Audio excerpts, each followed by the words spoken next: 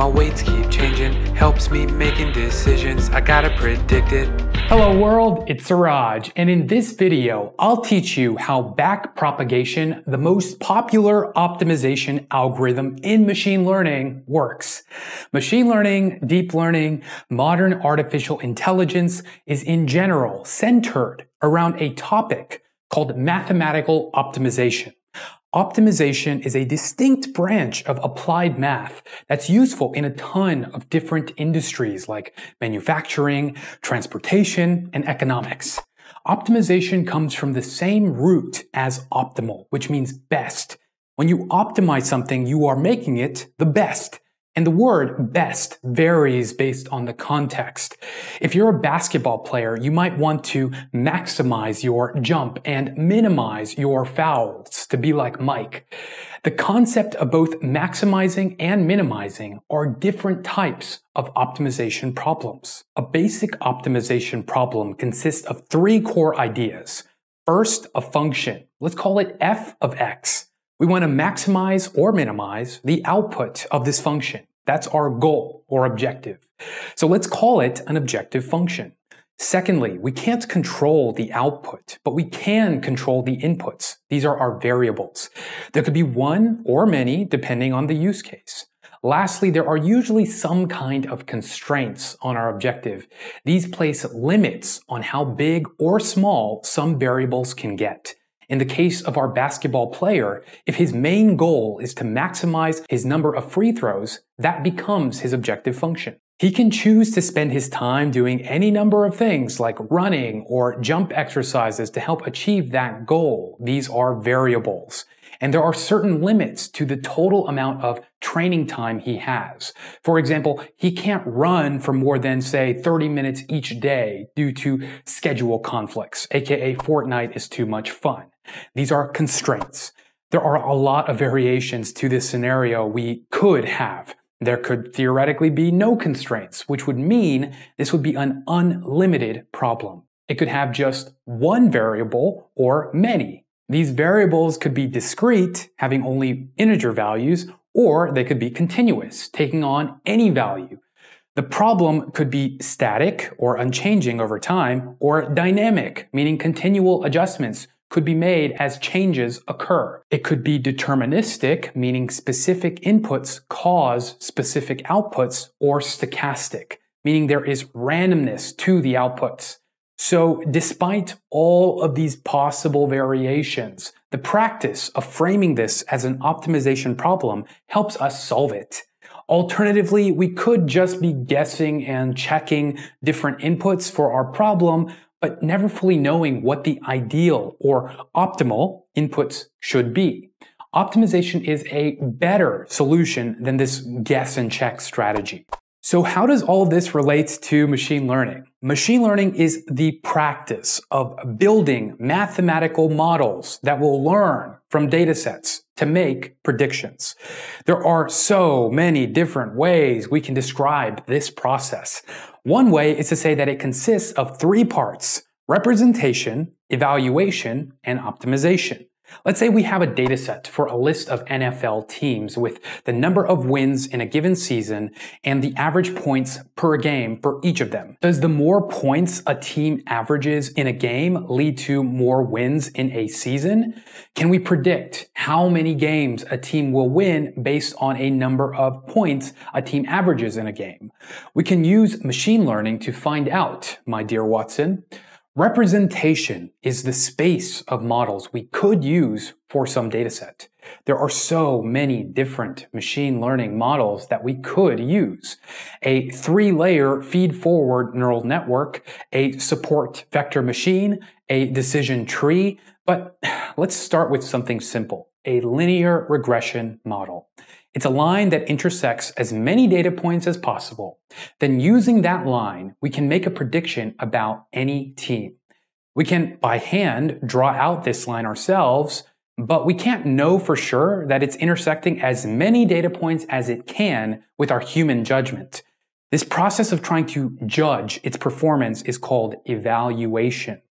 In machine learning, this is usually called the error function. There is a certain possibility space of parameter values for our model, and depending on what those parameters are, the error will change.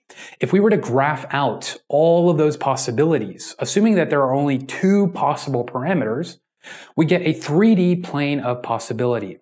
Of the many popular error functions, let's try a simple one called mean squared error. We essentially calculate the difference between the model's output and the actual data point. Our graph will have hills and valleys. We are evaluating for the height of this landscape and the lowest area is the most optimal because that's the point where the error is smallest. It'll then also give us the optimal parameter values for our model to achieve that error. The process of searching the space of our represented model to obtain a better evaluation is called optimization. We have to traverse the landscape to find the promised land of ideal parameter values for our model. Optimization is the strategy of getting to where we want to go. We can use gradient descent here to optimize. We'll initialize our parameters or weights with random values then calculate the error using our error function. This is a single number. Now, we're going to use that error value to compute the partial derivative with respect to both of our parameter values. We can call this the gradient. All right, let's take a step back, pun intended. The derivative is a term from calculus, the study of change. It measures the steepness of a graph of a function at some particular point on that graph. We can think of the derivative as a slope. That's the ratio of change in the value of the function to the change in a variable. It's represented by this little squiggly character. And we want to change both of our parameter values, so we'll compute the partial derivative of each, meaning we derive one and treat the other as a constant, respectively. We do that for both of them, and this gives us the gradient. The gradient is a multivariable generation of the derivative. While a derivative can be defined on functions of a single variable, for functions of several variables, the gradient takes its place. We can use it to update both of our parameter values ever so slightly in a certain direction on this plane that will move closer to the smallest possible error. And we do this over and over and over again. Over time, the parameters converging to their optimal values. It's like letting a ball roll down into the bottom of a bowl. The gradient is a compass that helps us descend down the valley to where the error is smallest. Gradient descent can be used in many different machine learning models, but it's most popularly used in neural networks. In the context of neural networks, gradient descent is just renamed backpropagation. A neural network is a function. Just like our linear regression model is a function, it's a series of matrix operations that are applied to some input data that results in an output. When we compute the error and use it to compute the partial derivative with respect to its parameters, we get the gradient. Data is propagated forward through the computation graph of operations. An error is computed and propagated backwards by computing gradients recursively for every set of layers in the network. So while the models all use different mathematical operations to compute predictions, the optimization strategy of gradient descent remains the same. Depending on how big our dataset is, we can choose to run gradient descent in batches, in mini batches, or in a stochastic way. Batch gradient descent is when we compute the error of all the training samples at once every iteration of training. This can take a long time to compute for big datasets though, so mini batch gradient descent lets us split our training data into mini batches that can be processed individually. Stochastic gradient descent is when we perform an update every single training observation. The size of our batch leads to the fastest learning process, depending on the size of our dataset. There have been a lot of variations to gradient descent that have been used over the years. Sometimes the gradient gets stuck in a local minimum and doesn't reach the global minimum.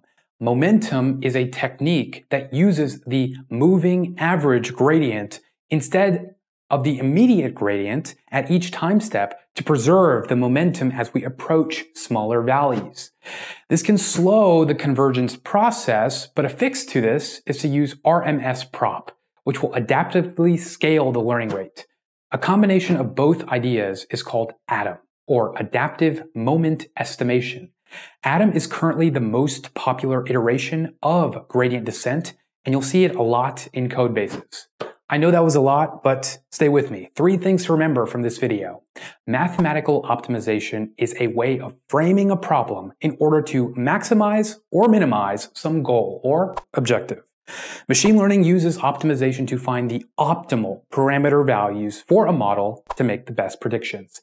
And gradient descent, also called backpropagation when applied to neural networks, is the most popular optimization strategy. What's my next topic? Using machine learning, you could probably predict it. Subscribe for more educational videos about AI, and for now, I've got a guest lecture at UCLA, so thanks for watching.